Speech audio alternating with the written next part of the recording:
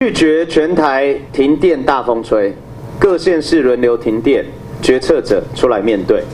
拒绝台电基层人员背黑锅，台电的人员为民进党政府来背黑锅，这是国人不要看到的。以及拒绝决策者隐身幕后，民进党政府，包括要新上任的经济部长，包括赖清德总统，要不要来公开对国人说明清楚？能源政策错误要不要负责？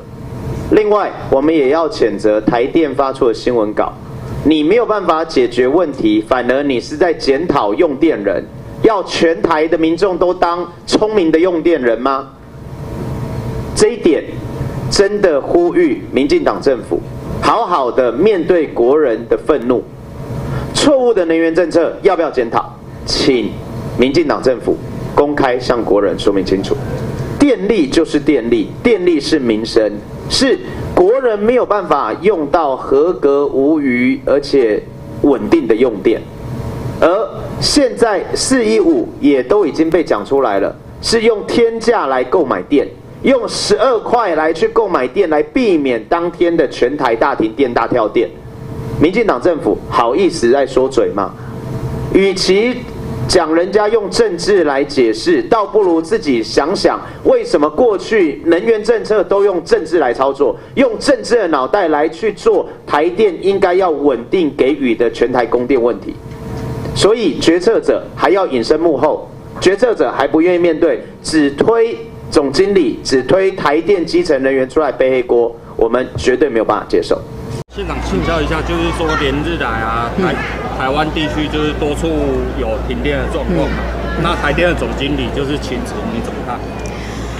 我想台电的总经理才是技术本位的哈，他本身非常了解哈整个能源政策的一个配比，能源政策哈要怎么样哈啊提供一个非常稳定的电力合理的电价，才是我们在经济发展产业非常重要的一个基石。那怎么样哈让我们产业能发展，民生用电能够稳定哈，让我们基本的生活啊免于缺电哈的这样的一个困扰哈。那现在极端气候这么样的炎热哦，事实上啊如果没有做气温的这个啊调节。然后啊，整后气候的一个调整，室内跟室外的温度真的差距太大哈，实在没有办法哈过一个非常舒适的一个生活了哈。我想现在已经走到哈啊，如果没有冷气啊，可能大家啊啊全身是汗了，工作也没有效率的啊，头昏脑胀的哈。所以我想最重要正本清源呢哈啊，我们的能源政策应该是要从实物面、从实际面、从技术面、从整个能源政策的配比啊啊，是不是啊？是不是要做一个调？整？我想这个是非常基本的哈啊，不要太泛政治化哈，那也不要太用政治的操作哈，跟政治的口水啊，我们还是要回归啊现实面。主席，那台电总经理王耀庭请辞，会不会认为他只是这个戴罪羔羊？那主席认认为最该请辞是谁？不过台电声明还检讨用电是适当的。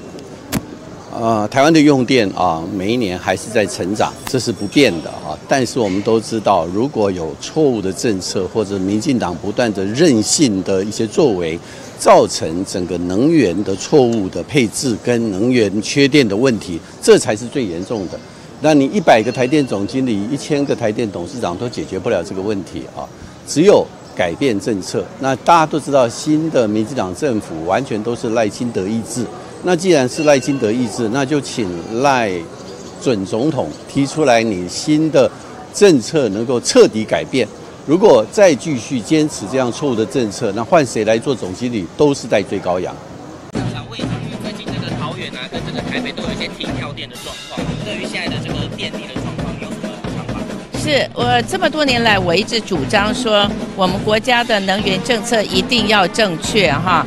那因为国家的电力或水利都是国家独营的、国营的哈。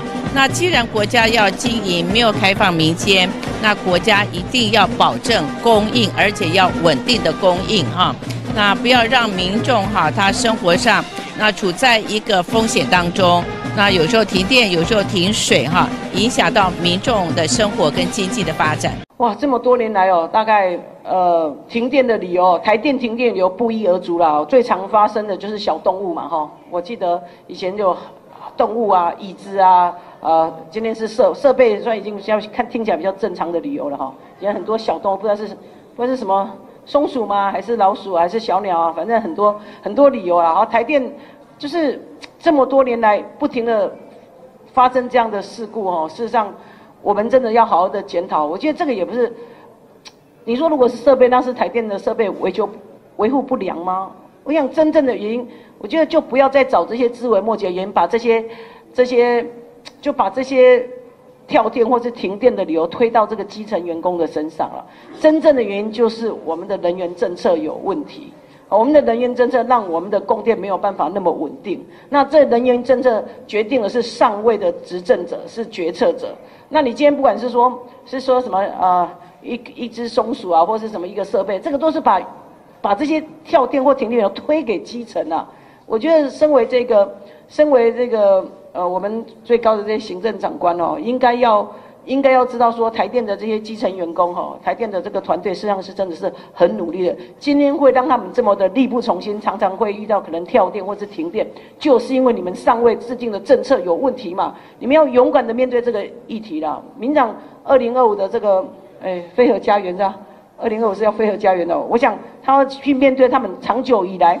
自己一直主张说这个非核的这个反核的这个神主牌，民党只有勇敢的面对我们台湾的这个电的危机，才能得到根本的解决，不然就只能呃不时就是把责任推给一些动物啊，或一一张椅子，或者是呃基层员工哈，或者是去要求这些呃大老板哦，那些科技厂的大老板哦，不然你就先不要用哦。我觉得这个都不是一个国家在经济产业发展的一个正当正常现象了哦。这个我觉得民党还是要面对他们。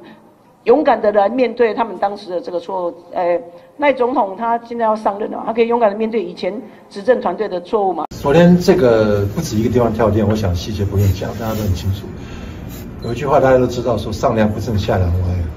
这个能源政策在蔡英文八年之内荒腔走板，大家都看得很清楚。民进党一直不肯面对这个上位不不到位的能源政策，造成台电的财务的吃紧。